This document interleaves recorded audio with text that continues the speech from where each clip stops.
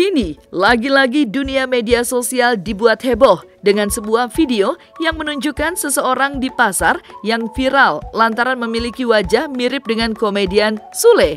Jun, pria asal Brebes yang kini viral lantaran dirinya memiliki wajah mirip dengan komedian Sule, mengungkapkan dirinya sangat senang dan bahagia lantaran dirinya kini menjadi viral di media sosial. Selain itu, dirinya pun mengaku sempat diundang oleh stasiun televisi untuk berperan dalam suatu iklan. Oh, banyak sih setiap pembeli ada yang bilang, Mas masuk ini loh, uh, lagi viral uh, video Mas masuk di ada yang bilang masuk di Ambetura, TikTok. TikTok. Saya pun gak nyangka gitu sampai pembeli ih si mas ini yang masuk itu gitu. Seperti itu. Betulnya masukin ini sebelah teman. Uh ya gimana ya? Kaget aja seneng ada rasa seneng uh, bangga aja gitu. Banyak yang bilang saya dibilang mirip Sule. Setiap pembeli ada yang bilang uh, ih mas ini minta foto dong minta foto gitu. Seperti itu.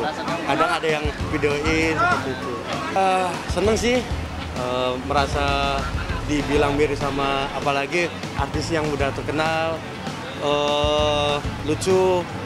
Apalagi saya juga uh, ngefans banget sama beliau.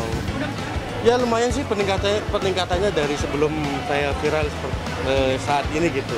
Uh, dulu uh, uh, dulu pas baru pertama pertama ke sini sih paling laku berapa karung lah paling 15 atau ini. Sekarang alhamdulillah meningkat ada lebih dari 20 merasa nggak gimana ya? Uh, ada sih kalau ngeliat beliau juga ngeliat Kang Haji seperti itu.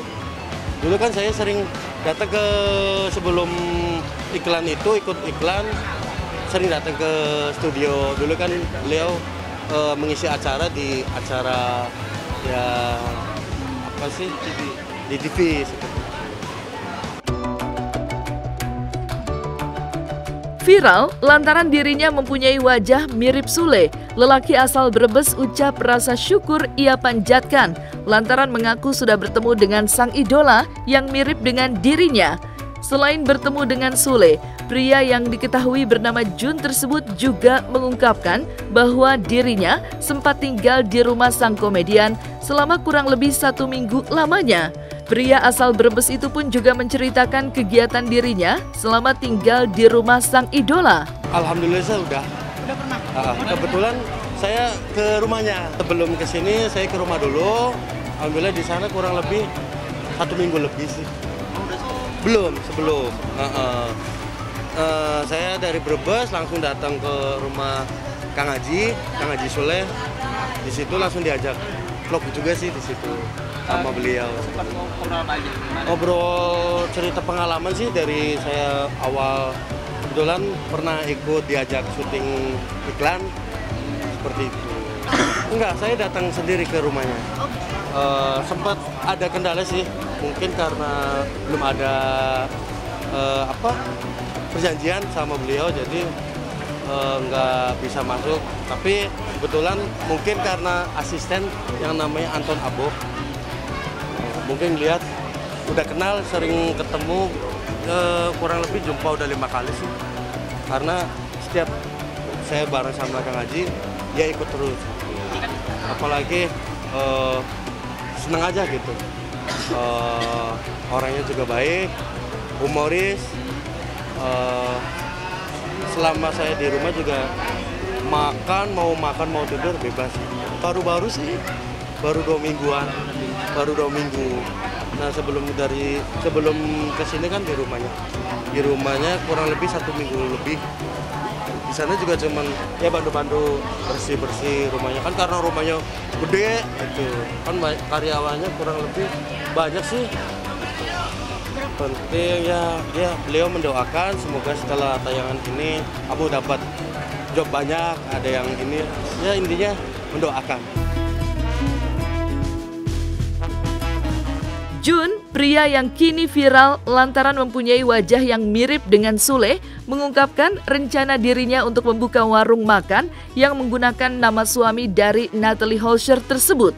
Dan sebagai penutup, ucapan doa pun Jun sampaikan untuk sang idola agar selalu sehat dan selalu rendah hati.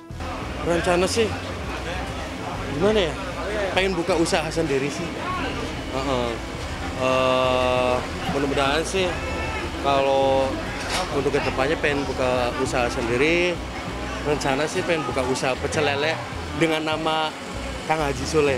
Oh gitu. uh, kebetulan kan saya orang Jawa. Nah, uh, jadi nanti rencana pecel lele Mas Sule seperti itu. Ya lebih unik aja gitu. Beda dari yang lain kan. Pecel lele Mas Sule kayaknya gimana gitu. Ya gambar saya sama Kang Haji kebetulan kemarin belum sempet ini sih belum sempet izin sama beliau. Mudah-mudahan sih beliau kasih izin rencana dengan usaha ini. Seperti. Uh, kalau rencana kalau ketemu lagi mau minta izin dulu. Karena kan itu brand brandnya beliau nama beliau. Jadi nggak eh, sembarangan asal pakai gitu. Uh, Kang Sule semoga sehat sehat selalu sukses selalu rendah hati eh, tambah sayang sama anak-anak